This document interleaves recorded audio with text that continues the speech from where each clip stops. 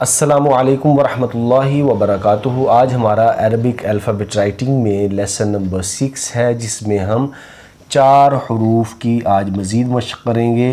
तो आइन, गैन।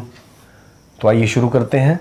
जब ये तो शुरू में आएगा तो ये ऐसे ही लिखा जाएगा। जब दरमियान में आएगा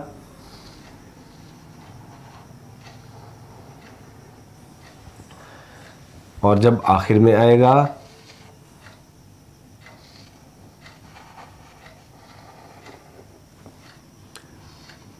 इसी तरह वा जब शुरू में आएगा, जब दरमियान में आएगा,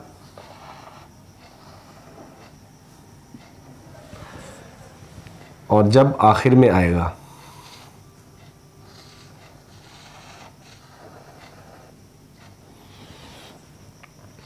आइन जब शुरू में आएगा तो ऐसे होगा।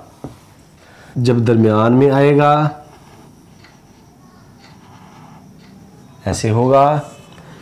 और जब आखिर में आएगा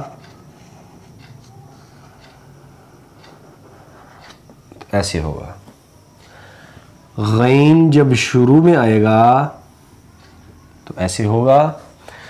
गैन जब दरमियान में आएगा तो ऐसे होगा। और जब आखिर में आएगा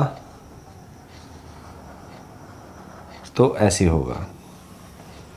तो आज हमने चार हरूफ की मशक की है। पा, वा आइन गैन। इन कल वाले लेसन में हम पढ़े गए हरूफ के ऊपर मशक करेंगे।